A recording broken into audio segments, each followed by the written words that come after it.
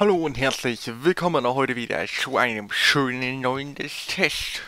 Wir machen heute Mais. Das ist ein Abenteuer in die episches, witziges Humorspiel, in dem es sich auch um ein Kesselberg Nein, mal im Ernst. Ich habe keinen Sprachfehler, ich kennt euch ob Weisenbaum, so, ne? Nee. Auf jeden Fall, ja, ich weiß nicht, ob ihr es rausgehört habt, aber wie gesagt, das Spiel ist jetzt bei Steam unter mehrmals getaggt mit witzig und Humor. Also äh, werden wir mal hoffen, dass es mich zum Lachen bringt. Wenn nicht, gibt's Report und ich gebe es zurück.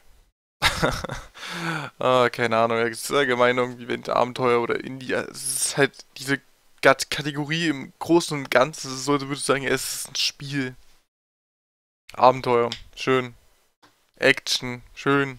Humor, episch, Naugi, episch und witzig jetzt schon etwas speziell, aber dass witzig und Humor dann noch gleichzeitig steht, das ist jetzt wieder was anderes. Bei dem Indie, also bei dem Indie, ja, Indie halt, ne? Gucken.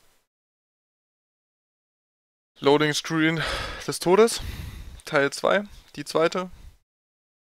Okay, es laggt erstmal, was das auch immer ist. Ich kriege irgendwie gerade Augenkrebs. Das ist mal gerade überhaupt nicht hell.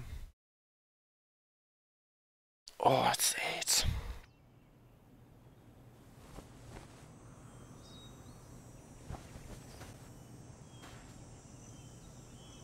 Ja, da sind gerade Maisstücke gelaufen. Passiert nichts.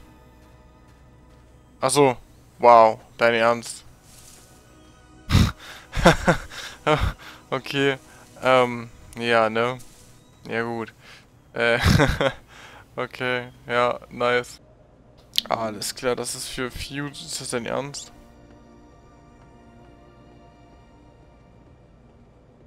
Als ob wir das wirklich halt als, äh, na, als, komm schon, Sicherung nehmen sollen.